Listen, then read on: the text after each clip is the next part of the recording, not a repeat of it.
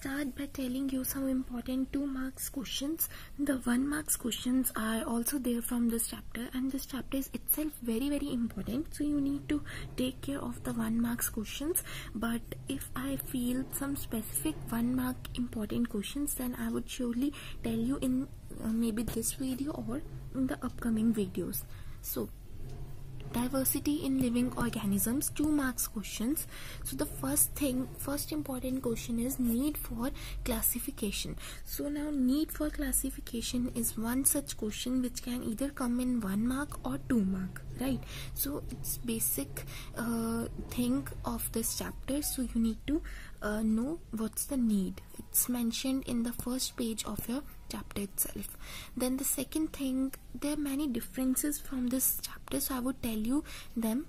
Uh, difference between advanced and primitive organisms. So this is very very important question. So you need to uh, know about the examples. So in one mark question the examples can be separately asked like what are the examples of advanced organisms and primitive organisms? So this can be asked in one mark question also so difference form you need to know.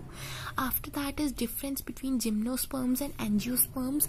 Mark this very very important. This can either come in 2 marks or 3 marks and this question can also come separately like what are the characteristics of gymnosperms and angios angiosperms or characteristics or features of angiosperms or gymnosperms so this question is very very important. It can come in any form. Please do remember the examples of each and everything in this chapter. So moving to the next thing it is the features of vertebrates. Now vertebrate uh, features of vertebrates either come in 2 marks or 3 marks. So uh, question on vertebrates is uh, seen mostly.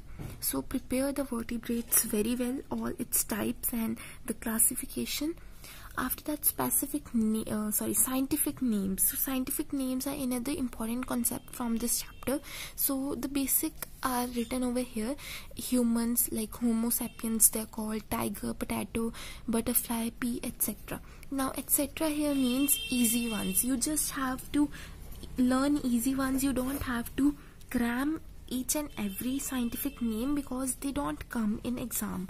Like simply humans the uh, scientific name of humans can be asked tiger can be asked now if you see in the paper written like this right the technical name of humans so technical name is same as scientific name so don't be confused. So learn scientific names only of the easy only that are easy. Don't cram the difficult ones. They would not definitely they would not come in the exam after that define saprophytes so saprophytes are another important thing from uh, this chapter. The definition can be seen in two marks. So examples also you need to uh, give while writing the answer of this question. After that hierarchy of classification. Now another important thing and from here the question can be asked on phylum and division. Now division is for plants right and for phy uh, phylum is for animals. So this question can be asked in one mark. Take care of this thing. Now moving on to the three marks questions so from this chapter basically the three marks questions are uh, difference based. So so the first important difference is difference between porifera and ciliate so uh, make sure you know the features as well because definitely the question can be molded and can be maybe directly asked also like um, what are the characteristics of porifera animals like this. And then annelids and arthropods the other important questions uh, these are all difference based right? Then amphibians and reptiles. Mark this as very very important because this is mostly seen in the question papers. So amphibians and reptiles very important question. Then Aves and mammalian another important thing. Now this is another important question mark. This as important. Importance or advantages of classification. So it can be asked like what are the what is the importance of classification? Uh, as i told you earlier what is the need of classification?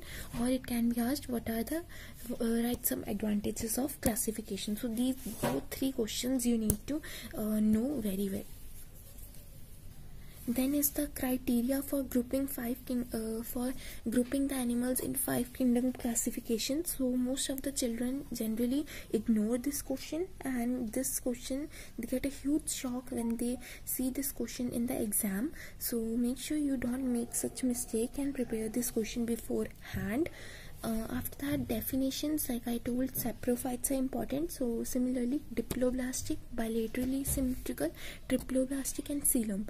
These are all important definitions from this chapter. So um, basically bilaterally symmetrical and triploblastic these two are the most important the others other ones can also be asked to you. After that the difference between monocots and dicots another important thing they can also be written as monocotyledons and dicotyledons. So make sure you know their uh, both the forms very well. Both are same but just a uh, slight change in their name is there so difference between monocots and dicots is very very important. Ninth thing which is important in th three marks is basis of classification of kingdom plantae and kingdom animalia.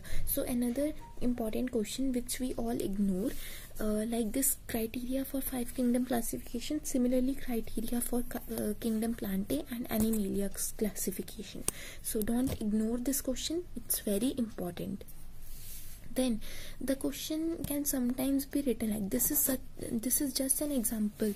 This 10th one is just an example. It's written note on amphibians of plant kingdom. So basically what are amphibians of plant kingdom? They are bryophyta. So this basically question means that write a note on bryophyta the next important question is vertebrates and invertebrates. The difference can come or they can be asked separately as well. So do learn the examples. So examples are very important. After that the last important concept is nomenclature. So some uh, question can be asked from here. So read this paragraph carefully which is written in the last page of the chapter in the book.